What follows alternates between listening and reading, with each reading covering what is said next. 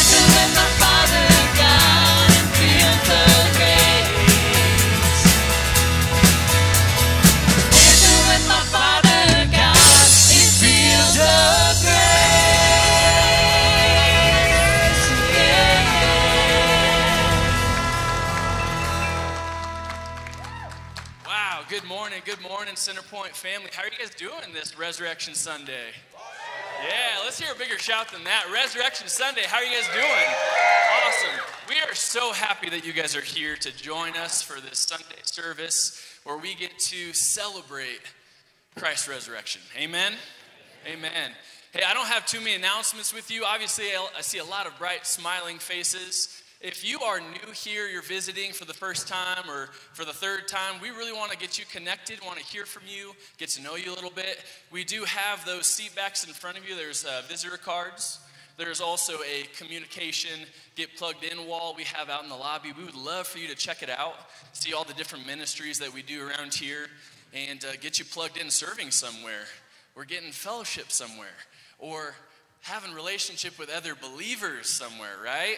So, hey, we're going to take the next couple minutes. I'm glad you guys are all standing because most of you sit down when I do this. So, uh, go ahead and take a few minutes just to greet each other around you, get to know somebody new, introduce yourself, and uh, we'll get things started after that.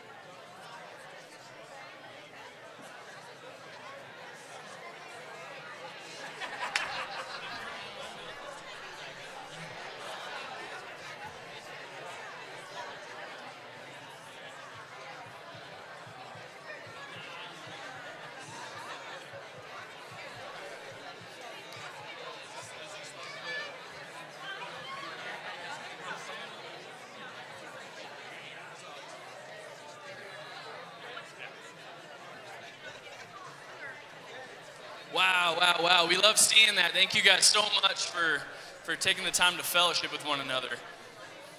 Uh, we have a real special guest with you guys this morning. Uh, one of our very own, Michael Moore. Um, I'm going to bring him out real quick, and he has a, something a little special to share with all of you. Uh, feel free to have a seat. Yeah.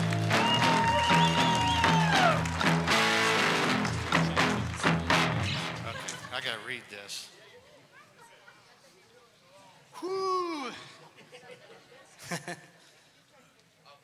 Oh, it's good to be back. I'll say that.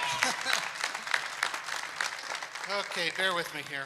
Um, for those of you who don't know me, my name is Michael Moore. This is my wife, Debbie Moore, and uh, recently I had an accident. Uh, December 11th of 2021, I broke 10 ribs, cracked my skull, shattered my T11 vertebrae, and damaged my spinal co- co- cord. Uh, that was ouch. That was a big ouch. But long story short, um, after they flew me to Colorado Springs, I ended up at Craig Hospital in Denver in January, where I learned um, how to live again.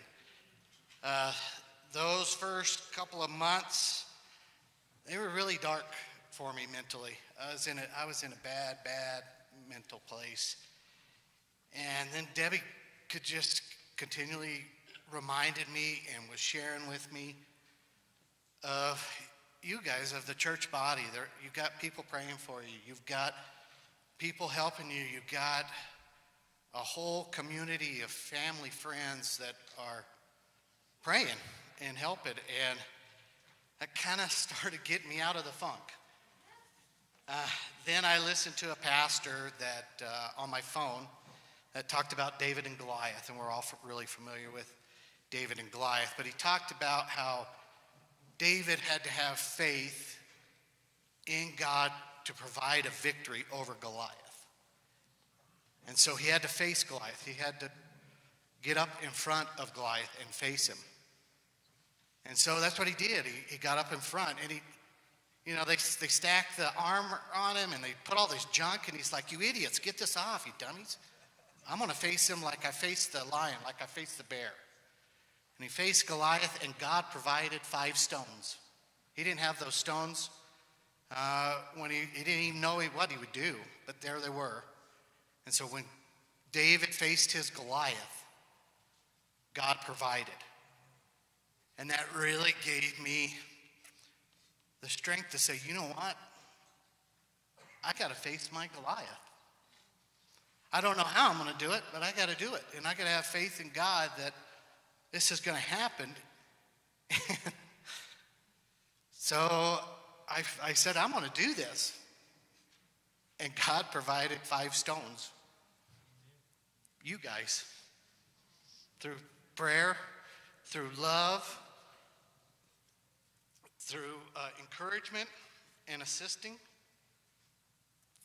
now I lost my place. and encouragement, he provided you guys, and that gave me the five stones to say, I can face him. And some people look at this and they look at it as a disability. But I look at it as a wonderful opportunity to face my Goliath because I got you five stones. And I can't thank you guys ever enough for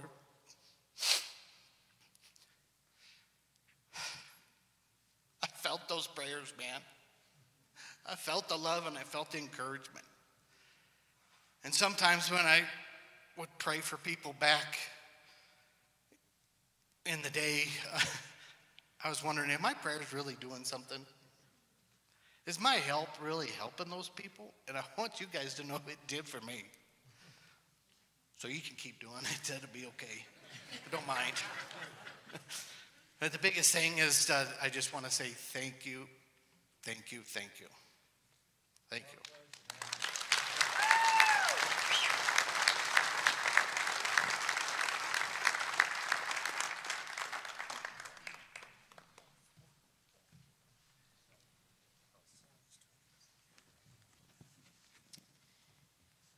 folks, happy Easter.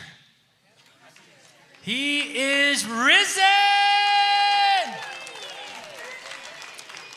Amen. Let's play that video, Sherry.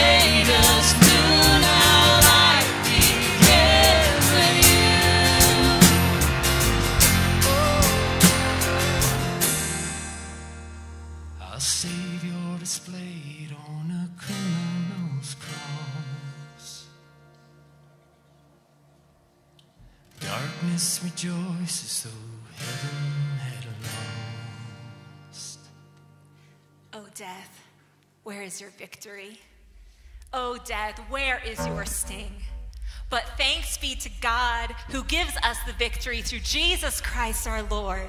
Death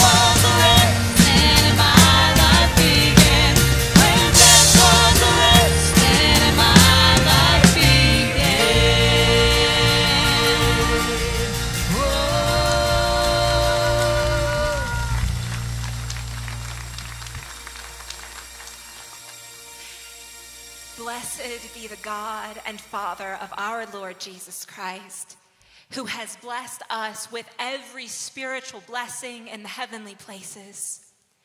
Just as he chose us in him before the foundation of the world, that we would be holy and blameless before him. In love, he predestined us to adoption as sons through Jesus Christ to himself, according to the kind intention of his will, to the praise of the glory of his grace, which he freely bestowed on us in the beloved.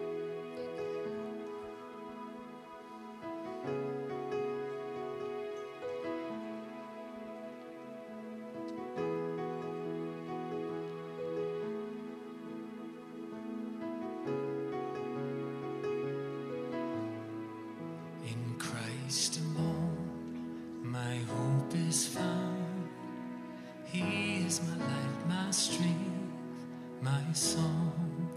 This cornerstone, this solid ground, firm through the fiercest drought and storm. What heights of love, what depths of peace, when fears are still when striving cease,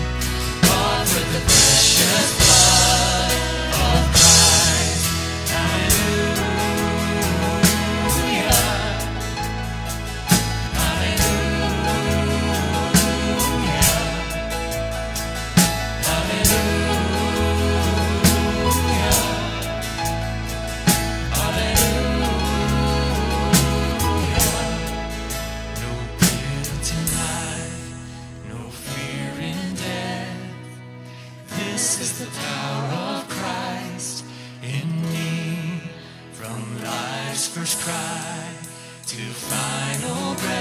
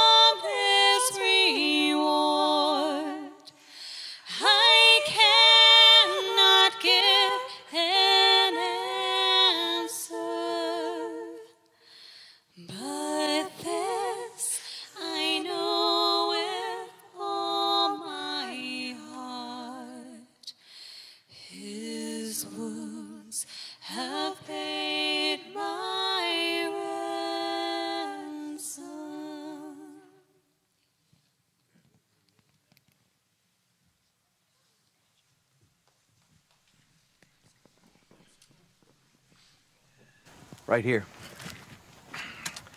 This is where Jesus was kneeling when they uh, came and grabbed him. Um, and I, uh, I, I came in from this direction with my sword drawn, and I cut off the ear of the servant of the high priest. I reacted exactly the way Jesus told us not to. Jesus, he picks up that man's ear.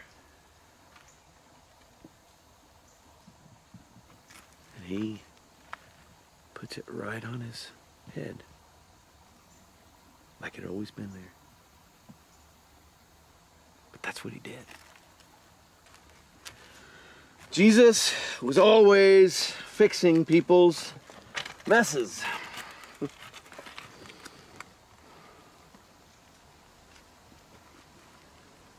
You know, um, I said I didn't know him that night. Three times. Three times.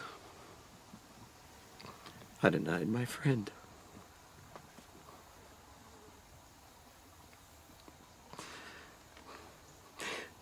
He told me I was going to do it before I even did it. And like an idiot, I argued with him. but he was right. He's always right.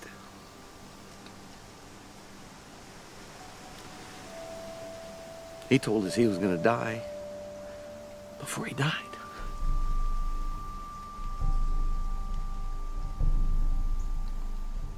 But you know what he did? You know what he did when he came back to life? that morning when he came back to life, he gave me the opportunity to tell him I loved him. Three times. Three. He knew, he knew. That was my greatest regret. But that's how he does it. When it settles here, it changes here.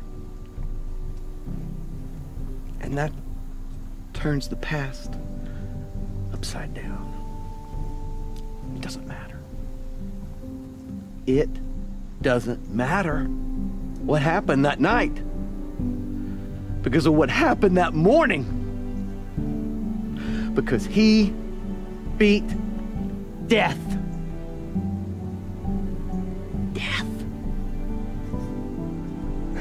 He is alive.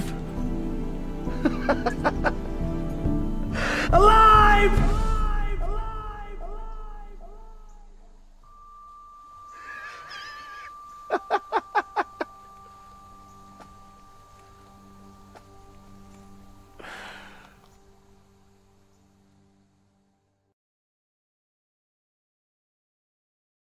Morning is our joy. Thank you so much for being here this morning and not just saying that. We are delighted that you've chosen to be a part of the family. We're here to celebrate. We are here to remember. We are here to be challenged both by the music, the videos, and God's word. And we hope that is exactly what will happen. Let's pray. Father, we're grateful for this special day. Without the resurrection, Paul reminds us that we, out of all men, would be most to be pitied. But we are not to be pitied because we have a hope that is anchored in the resurrection of Jesus Christ. It is sure, it is guaranteed. And I pray this morning that as we spend time in your word talking about it, that the hearts of everyone here would be encouraged and would be blessed. Lord, for those that maybe are not real sure of their relationship with you, they, they, they know all about it, they know the story, they've been associated with it for so many years, but, but Lord, for them it's not really a personal thing. I pray this morning would be the morning when it becomes very personal. And I pray that your spirit would have free course to work in our hearts to accomplish your will. And we will thank you for it in Jesus' name. Amen. We're going to Luke this morning to look at Luke's account of the resurrection, Luke chapter 24. And you can follow along as we read just these first 12 verses. But on the first day of the week at early dawn, they went to the tomb, taking the spices they had prepared. And they found the stone, a uh, stone rolled away from the tomb. But when they went in, they did not find the body of the Lord Jesus. And while they were perplexed about this, two men stood by them in dazzling apparel. And they were frightened, and they bowed their faces to the ground. And the men said to them, Why do you seek the living among the dead? He is not here, but he is risen. Remember how he told you while he was still in Galilee that the Son of Man must be delivered into the hands of sinful men and be crucified and on the third day rise? And they remembered his words, and returning from the tomb, they told all these things to the eleven and to all the rest. And now it was Mary Magdalene and Joanna and Mary, the mother of James, and the other women with them who told these things to the apostles. But these words seemed to them an idle tale, and they did not believe them. But Peter rose and ran to the tomb. Stooping and looking in, he saw the linen cloths by themselves, and he went home marveling at what had happened. You know, from this account, I am reminded that there are so many different responses to the resurrection. If we were to consider even just three of the many different responses, we would maybe start with the, with the far left, the far extreme on one side, and we would say for those who are just plain unbelievers, they do not believe that this is God's word. They do not believe that what is said in this book actually happened. To them, the resurrection is it's just a fairy tale. It's not, you know, it's not worth much more than the Easter Bunny or Santa Claus. It is a story that we tell at a certain time of year to make us feel good with lots of smiles and laughter and fun events and, and uh, Easter eggs, and that's just about it. And you go to bed that night with a stomach ache if you had too much to eat. There's also another group, and this is a group that we'll just call the religious so many people in this group. They kind of grew up around the church. They, they probably were almost always in church come Easter or maybe Christmas. Maybe their parents were big time church people. But as so many have said, well, I just never really got into it as much as my mom and dad did, right? I just never really bought in quite as much as they did. You know, to them, this is a great story. This is a, this is a fun day. They love to be a part of what's going on here. They love the singing. They love the cheering. They love the videos. They just love the, the, the goodness that you feel when the underdog wins and, you know, and, and death is defeated and love comes out on top. But for them, it's, it's missing something, it's missing a personal connection. You know, for them, it's a lot like going to your favorite sporting event. You know, the excitement, the anticipation is almost electric in the air. And you go in the stadium and you're a part of this huge crowd and you're screaming and yelling and you're jumping up and down and you're high fiving. And yet, when it's all said and done and you're walking out of the stadium, you can turn to the friends you went with and you can say, Man, that was a great game. This was a great experience. But you go home largely the same way you came. And really, the event was not worth much more to you than just the kind of the entertainment value. And at least in some ways, that's what Easter is to so many folks. It's a great story, and this is a great day. And we're all looking forward to great food and time with family and friends. And when it's all said and done, we'll be able to lay our head on the pillow tonight and go, man, it was a good day. It was a great day. I love Easter. But our life really is not changed because of it. And then if you go to the other extreme on the other side, you have what I'm just calling this morning the, the Christ followers, right? They are the ones that, that did take it all real seriously. They not only believe the story, but they, they just did so much more. They, you know, they, uh, they accepted it, they confessed it, they received it, they applied it, they love to talk about it. When it comes to the story of the resurrection, they see themselves in it, even as you heard in the words of the song. They, they heard their own voice rejecting and mocking Christ. They saw their own hands pounding those spikes through the wrist of Jesus.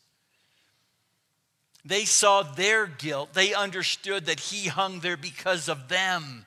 It's a very personal thing to them. And because of that, their life has been changed. They went home one day much different than they came because they understood what the resurrection was really all about. You know, which kind of leads us to that question so, why, why is the resurrection so important? Or even before the resurrection, why did Jesus have to die? Why did God come up with that plan?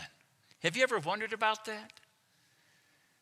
Eternity past, you have the three members of the Trinity sitting around and, and uh, laying out what's going to happen in the future.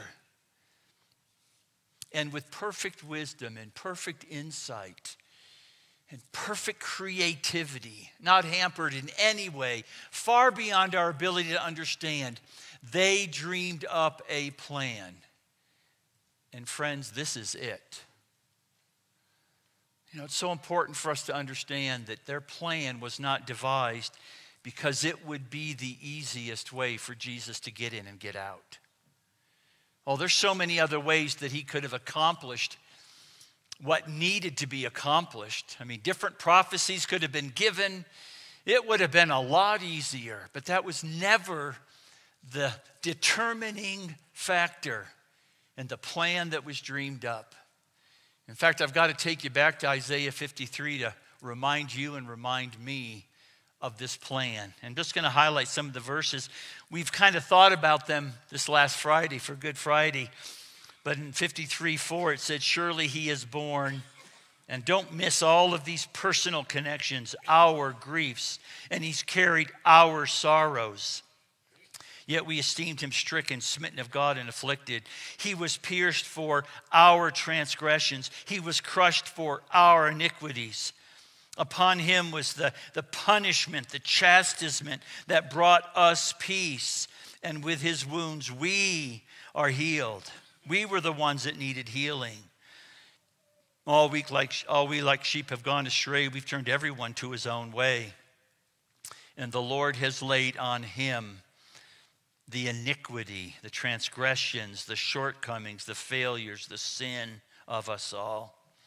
He was oppressed, he was afflicted, yet he opened not his mouth. Like a lamb that is led to the slaughter, like a sheep before its shears is silent, so he opened not his mouth.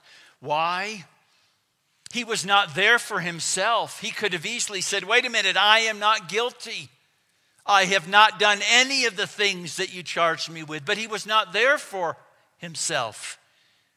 He was there for us. And let me tell you something you and I are guilty of everything that he was charged with. And there's no way that he could open his mouth and say, they're not guilty either, because we are guilty. We stand guilty. We are condemned. And so, in love, in grace, in mercy, he just stood there and he took it all because of our sin. They made his grave with the wicked, with, rich, uh, with a rich man in his death, although he had done no violence, nothing wrong. He was not guilty of anything personally. There was no deceit in his mouth, nothing that was not true, nothing that was not pure, nothing that was not honest. He was completely and totally above reproach in every way. And yet there he stood condemned because of your sin and mine. And now we hear about the plan, the will of God. Yet it was the will of the Lord, Yahweh, to crush him. This was the plan from the beginning. It was to crush Jesus so that his blood would flow, so that it could be applied to our sin, to wash it away. And without the shedding of blood, we're told there's no forgiveness, there's no removal of sin. And so God's plan from the beginning was to crush Jesus. He goes on, He has put him to grief. It was God's plan to put Jesus to grief. and oh, did he suffer. When his soul makes an offering for guilt, it was God's plan to crush Jesus as an offering for the guilt of mankind. Your guilt and mine. It was his plan. And he says, when he does that, he shall see his offspring. He did not stay dead. He accomplished what he went to accomplish. He was crushed. He was made an offering. But God the Father says, But don't worry, He will be there to see His offspring. He, God, shall prolong His days. How about for eternity future? That's a pretty good prolonging of days. And for all of eternity, it says, The will of the Lord, of Yahweh, this plan will prosper because of Jesus' willingness to go to the cross. Not just okay, that's enough. It, will take care of the deal. It's the least amount. No, no. Not only will God's plan be accomplished, not only will it be successful, but it will flourish. And we might not really understand much of that now, but when we stand in His presence for eternity, we will see what it means to prosper. We will see and understand what it means that when God does something, boy, he does it really, really well. Verse 11, out of the anguish of his soul, he shall see, God shall see, and be satisfied. The demands of the law were met. The blood of Christ that was shed as a result of his crushing in this offering, in this sacrifice, was sufficient to absolutely cover every single one of your sins. And we'll make that just as personal as it can possibly be. Even if nobody else was ever alive on this earth, your sin was such that it took the blood of Jesus Christ, shed the way it was shed, freely offered the way it was offered, in order to cover your sin. And I say that for you, and I say that for the person sitting next to you, and the person sitting next to them, and the person standing up here. He saw it, and it was enough to satisfy those demands of a holy, righteous God. By his knowledge shall the righteous one, my servant, make many to be accounted righteous. And if you want to take many out of there and put your name in there, again, it makes it more meaningful. Because of what Jesus Christ did, he was able to make Jon to be accounted righteous. And oh, if you just knew Jon a little bit better, you would know what a stretch that is. It was enough to make Marlene righteous and my children, Annie and Johnny and Kyle, and the grandchildren that have come from them as well. It was enough, it was sufficient to be able to make them righteous who were not righteous before. And it says that he, Jesus, shall bear their iniquities. Therefore, I will divide him a portion with the many and he shall divide the spoil with the strong, because he poured out his soul to death and was numbered with the transgressors. Yet he bore the sin of many, and he's there making intercession for all of us who are the transgressors. This was God's plan. And he didn't design it, he didn't devise it because it would be the easiest for Jesus. We might argue that it was absolutely the most difficult that it could possibly be. But we will say this as best as we can understand with our puny little brains it was the plan that would best reflect the depth and the wonder of His love for you and for me. You know, you hang around with yourself quite a bit during the course of the day. You get tired of yourself. And sometimes we get tired of you too, right? As you get tired of us. And yet, He loves you so much that he said, let's not make this easy, but let's make it so absolutely difficult that nobody will ever, ever wonder how much I love them. That I'm willing to go through what I went through in order to secure for them the opportunity to be with me forever. It was the plan that is, again, as best as we can understand, would most reflect the glory and the majesty and the wonder and the creativity of Almighty God. And for all of eternity forward, you and I, who have placed our faith and trust in Jesus Christ, will have the privilege to sing, Worthy is the Lamb. Worthy. And to wonder at His goodness and to wonder at His grace and His mercy, knowing who we were and what we offered, which was nothing. That's the plan.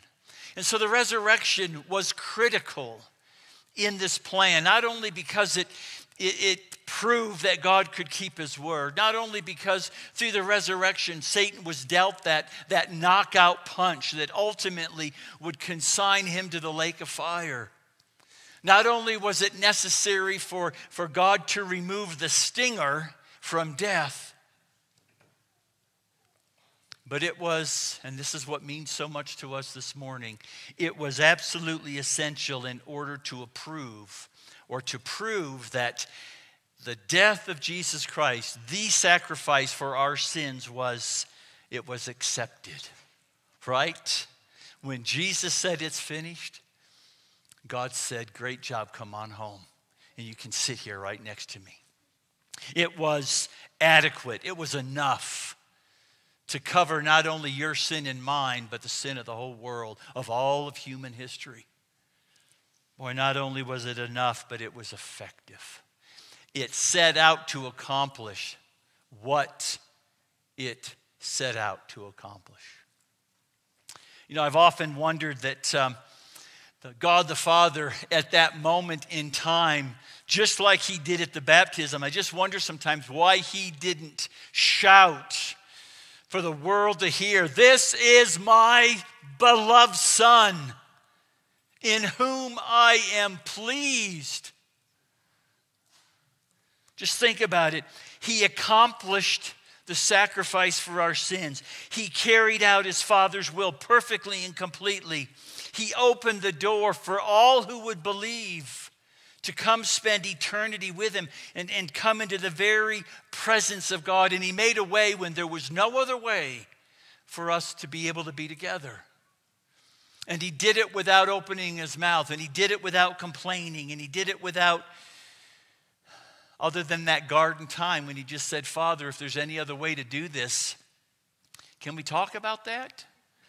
And please understand, it wasn't because of the suffering, it wasn't because of the pain, it wasn't because of the death.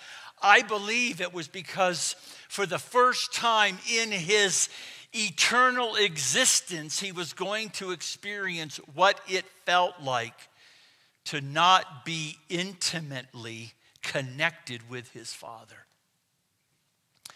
During those hours on the cross, the hours of darkness, what, from 12 to 3, when God the Father rained down upon him all of his righteous wrath that Romans 1 is saying is being revealed against the sin and the wickedness of mankind. And Jesus just hung there and bore it. We, again, with our puny brains, trying to just understand this, the Father had to have turned away. The Father had to have somehow put space between him, perfect, holy righteousness and holiness, and his son, who was now being literally made sin for us. And though it might not seem like a long time for you and for me, to Jesus, maybe it felt like an eternity. So much so was at the end of that time when he cried out, My God, my God. He didn't say, Daddy, where are you? He said, My God, judicially, I know what you're doing, I know what you have to do, but why have you abandoned me. And I believe that that fellowship was then restored. And maybe the angels that were ministering to them, maybe even his, his own father whispered in his ear, Good job, son. Good job. You can come home now. You've done everything that we agreed you would do. You've done it perfectly. You've done it flawlessly. Good job. So the resurrection is a huge, huge deal. And this morning, as we close, I just want to be sure that all of you understand that, that probably every one of you can find yourself in one of those three categories that we started out with. And if you are a Christ follower, and if you understand that all of this was for you and it was because of you, and that Jesus didn't just die for you, He died in your place. And it breaks your heart and it brings tears to you, your eyes, and, and you find yourself, you know, just on your face thanking Him. And you feel that personal connection that the Holy Spirit brings when He indwells us that I just hope this morning has encouraged you. Feed that. Feed that. Spend time in the Word. Listen for the Spirit's voice. Grow in your understanding of who He is and what He's done for you and what it means for your life. If you find yourself in that, that middle group, where maybe you've been around church your whole life, but it still doesn't feel very personal you can't remember if you've ever cried over your sin. You don't even know for sure if, if you're bad enough that you need to ask for forgiveness because you can surely find a few hundred million people that are a lot worse than you are, right? If you're on the outside looking in, then I want you to understand that the resurrection is really of no more value to you than it is to the one who says, I just don't believe that it ever really happened. Because it's not personal for you, you've not made it yours. Jesus died in order to pay your debt, right? When he cried out, It is finished, you know, the Greek word that, that, uh, that he cried out was tetelestai. It is finished. It's what's stamped on your mortgage or your car lease or whatever it is that says paid in full. And I don't know about you, but whenever I can see that in my life, I'm pretty excited. That's a big deal. But what about the mortgage of your life? You're going to continue to make payments that will never be enough. You'll never be paid in full.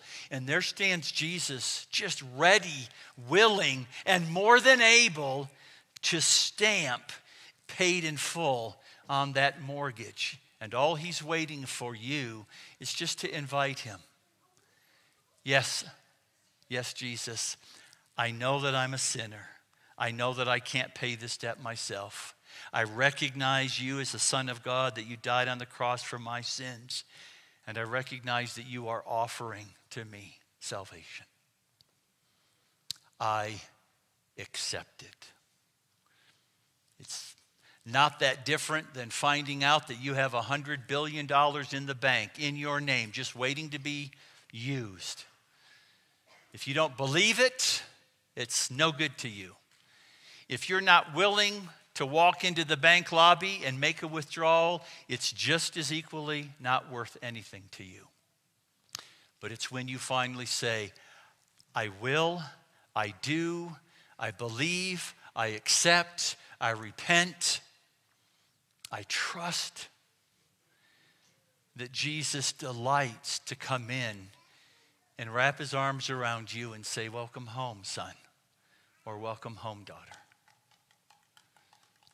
That's why the resurrection is so critical, friends, because it proves that all of this is true. It proves that it's enough. And it proves that that offer is still being extended even today. And as we close in prayer, I'm just going to invite you to just pray that simple prayer with me. If you don't know beyond a shadow of a doubt that you belong to Jesus and he belongs to you because of a transaction that you made together, where you invited him to be the Savior of your life, where you surrendered yourself to him, then this is the morning for it. You might not have another. And he's waiting and he's ready to make you one of his children the same way that he made me his son many, many years ago. And so many of the rest of you have shared your testimonies. It's free, it's available to all. No, th- there's no uh, small print. There's no, you give him your life, he gives you eternity with him. And even more than that, it's kind of this bonus where he says, oh, oh, by the way, I'll walk with you now for the rest of your existence on earth. And I'll help you when you need help. And I'll make life really difficult for you at times. So you'll learn that I'm enough and that you can trust me. And that the joy that I give is worth so much more than any joy you've ever known. If you've never prayed that prayer, I hope this morning you will. And by chance, if you're just one who doesn't believe at all, all I can say is just consider the facts, read the accounts, go outside of Scripture, read the, the trustworthy accounts. Understand that there were well over 500 people who physically saw Jesus, many that touched him, some that even stuck their fingers perhaps in the holes in Jesus' wrists or in his side. And they believed. Consider the disciples, every one of them suffered horrible, horrible deaths because of what they had seen, what they knew to be true. Let me tell you something. You would never allow yourself to be crucified upside down just to keep a good story going. So much evidence. But for you, if you continue to reject and you continue to not believe, the resurrection's of no value to you. And you will understand one day that the offer that has been given to you for your whole life is no longer available. And you'll live for eternity with the consequences of that decision. So, wherever you are this morning, as we close in prayer, I pray that the Spirit would encourage you to take that next step that you know you need to take. It's the one that the Spirit's talking to you about right now. Don't think of any reasons why you shouldn't. Just obey and watch what the Lord will do in you and for you. Let's pray. Father, we, in your presence, first and foremost, just say thank you. Thank you for loving us, the unlovable people, so very, very much. Thank you, Jesus, for suffering so much to prove your love for us. Thank you for making a way for us to be with you. And I thank you, Lord, that your blood, your sacrifice, your offering was enough to cover the debt that we all have. And Lord, you know there are some here this morning that they need to do business with you, and you know where they are in this kind of three group scenario that we have proposed. Lord, would you please even now work in their hearts to encourage them to take the next step. And Lord, for those who maybe are ready to pray this prayer, I pray that they would just together with me say this Dear Jesus, I know that I'm a sinner.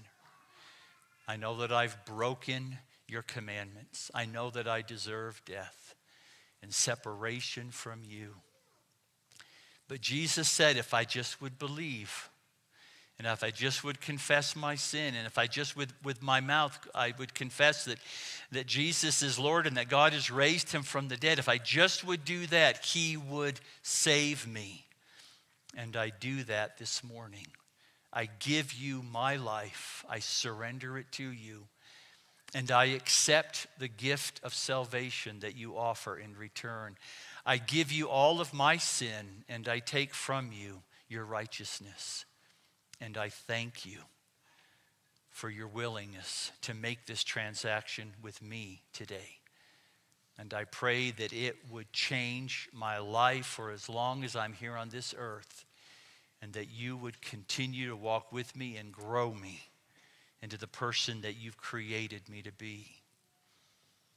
Lord, I pray that you would work in all of our hearts to encourage and to bless and to make us different today when we leave than when we came. May this not just be an entertainment venue where we had a great time and now we're just on to the next great event. Lord, may this be the life changing event that the resurrection was always intended to be. We leave that in your hands. We thank you again for making it possible. And we tell you again that we love you. Go with us as we go. Walk with us. Direct our paths. Provide for us. Protect us. And Lord, one day, we can't wait. Come and get us so that we can hear you say, Good job, son. Good job, daughter. Come on home. And we'll leave the timing of all of that in your hands. Dismiss us now with your blessing, we pray. In Jesus' name. Hey, thanks so much for being here. I'm going to be up here if you would like to visit. Tell me about a prayer that you prayed or ask questions. God bless you. Have a great day. Make today meaningful for eternity. Dismissed.